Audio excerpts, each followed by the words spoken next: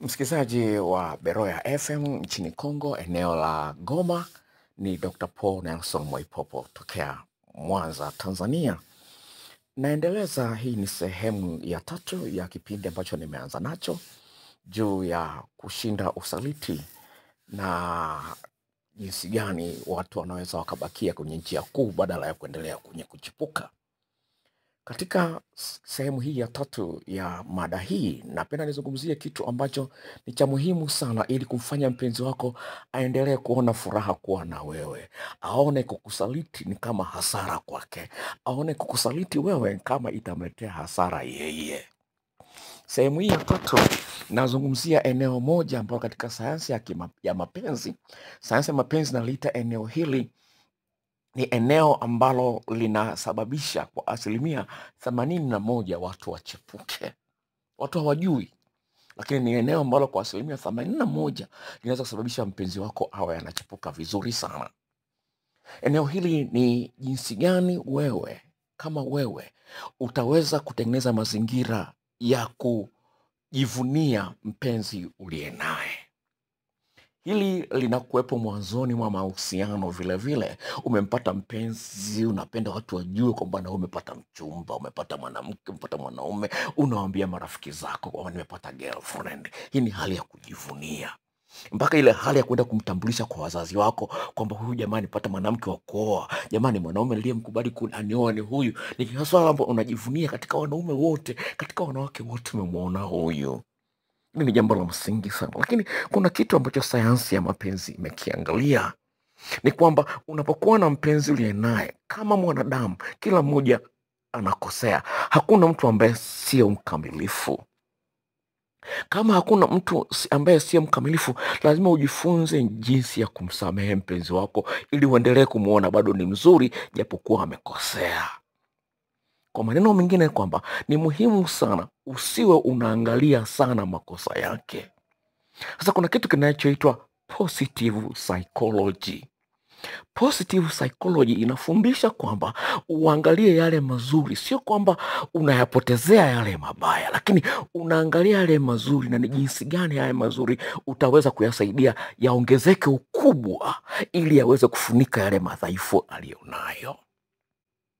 Hili ni jambo ambalo linawashinda. Sasa temu, neno ambalo linatumika ili kuweza kuangalia mazuri ya mpenzi wako mara kwa mara linaitwa positive sentiment override. Positive sentiment override. Sasa kwa wale ambao wanafahamu Kiingereza, override yani, yani kama vile ume overtake unaona ume overtake yani override yani ume overtake umeride umeendesha mpaka ukamuovertake mtu yaani kwa maneno mengine ni kwamba yale mazuri ya uyaone yana nguvu zaidi kwa wewe kuendelea kumpenda huyu wewe kuendelea kumthamini huyu kuliko yale mabaya kuna mtu kwa sababu mume wake anamnyima pesa ataenda kutafuta pesa kwa mwanamke mwanaume mwingine. Kuna mwingine kwa sababu mke wake hana makalio makubwa, ataenda kutafuta mwanamke mwenye makalio makubwa. Sasa hili sio kweli kwamba wanaume hawawezi wakatulia na mwanamke mmoja, inawezekana kabisa, lakini katika sehemu ya kwanza kama umesikiliza kipindi hiki, sehemu ya pili kama umesikiliza kipindi hiki, na sehemu hii ya tatu itakusaidia sana kuelewa kwa nini hili la muhimu, kuzuia uchepukaji. Unapoangalia mazuri ya mwenzio na kuanza kuyafurahia zaidi na kuanza kuyakuza, unafunika yale madhaifu yake. Hakuna ambaye ni mkamilifu, kila mmoja na madhaifu yake, hakuna. Kwa hiyo basi ni muhimu sana unapoingia kwenye mahusiano ya kimapenzi, nyinyi wawili mwanze kufundishana jinsi gani ya kufurahia mapenzi, kumfurahia mpenzi uliye naye. Kwa hiyo uwe na vitu vya kumsifia.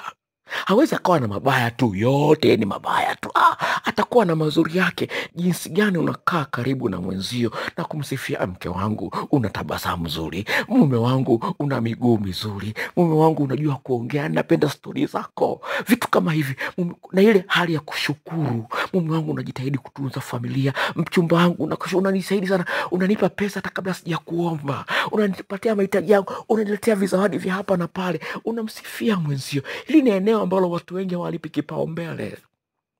Nikuulize ndugu msikilizaji wa Berea, Beroya FM hapa Kongo, nikuulize swali, lini umemtamkia mpenzi wako uso kwa uso na kupenda, sio kwenye meseji. Lini lini umemtamkia nakupenda baby, nakupenda kwa sababu una chakula huwa kichelewi kupikwa, nakupenda jinsi unavyochagua nguo unamachisha vizuri, mume wangu nakupenda jinsi unavyoongea nasikia raha, mume wangu nakupenda jinsi unavyojali familia, mume wangu nakupenda jinsi unavyohangaika kwa ajili ya familia hii, mume wangu nakupenda kwa sababu unanifikisha kileleni mara kwa mara, unajitahidi unifikishe kileleni. Mke wangu nakupenda kwa sababu unajua kuchezea korodani, unajua kuchezea dudu langu, unalichezea vizuri, nasikia raha. Mke wangu nakupenda. Lini umezungumza kitu kama hicho kwa mwenzio?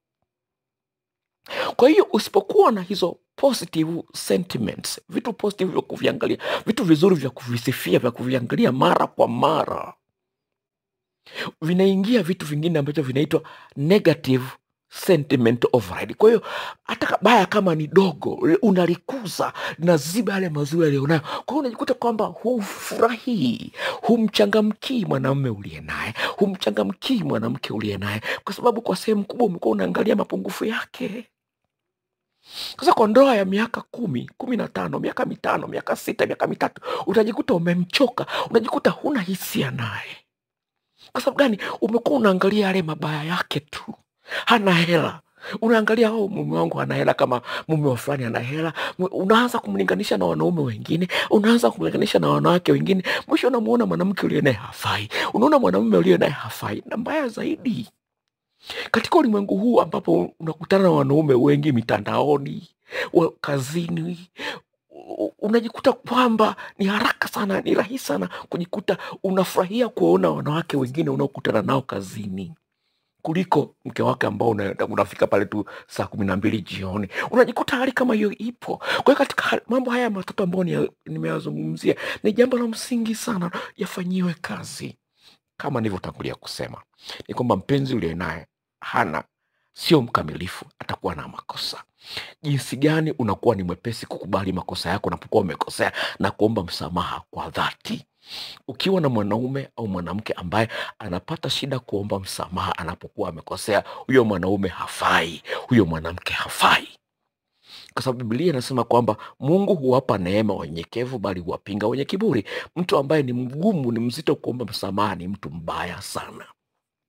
Kwa hiyo basi ni jambo la msingi tuweze kujifunza kuyaangalia yale mazuri ambayo mwenzio anayo, ili mjenge mshikamano wa kihisia, ili hapo ha- unakuwa na hamu na hata kufanya naye mapenzi. Unajikuta mwanamke anakuta hana hamu ya kufanya mapenzi na mume wake, kwa sababu mume wake ni mkali mkali tu, ni mtu hasira hasira tu, kila kitu wewe wewe wewe, sijui nini sijui ukoje wewe we sijui ukoje. hasa hii inasababisha mwanamke anaishiwa hamu ya tendo la ndoa.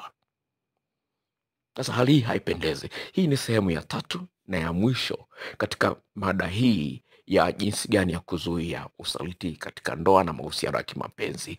Mungu ibariki Beroya FM na watakia wasikilizaji watu wa Kongo hapa Beroya FM na watakia siku njema na usiku mwema na muishi maisha ya raha katika mahusiano ya yenu. Nitaendelea kuwa nawaletea vipindi hivi mara kwa mara. Mungu awabariki sana. Kwa hereni.